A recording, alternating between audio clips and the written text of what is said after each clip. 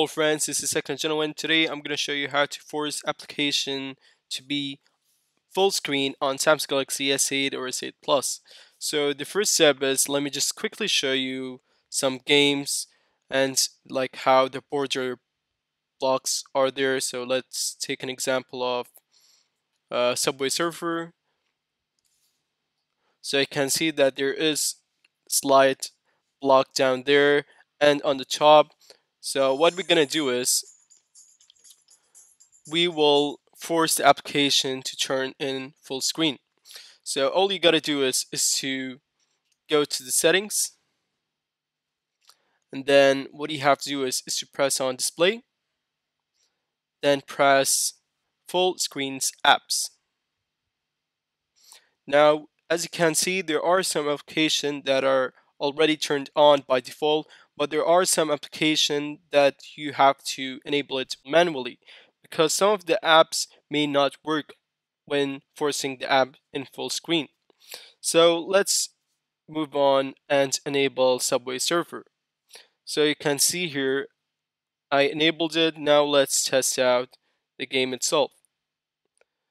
So game launcher and then Subway Surfer. So as you can see right now, the bottom end is already removed. So now it is in full screen and it looks amazing. What do you guys think? Let us test the performance as well. So as you can see, it looks amazing and there's no performance drop.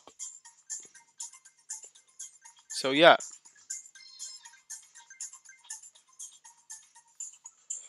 Let us test different app.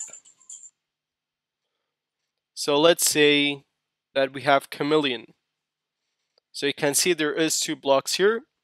Now what we're going to do is we're going to do the same step, go to settings, then from here place on display, then press screen apps.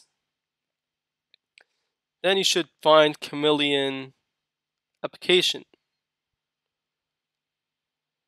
So right here, check that.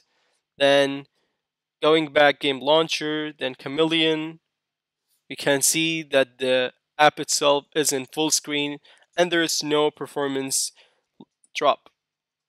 So very smooth and let us test it out now.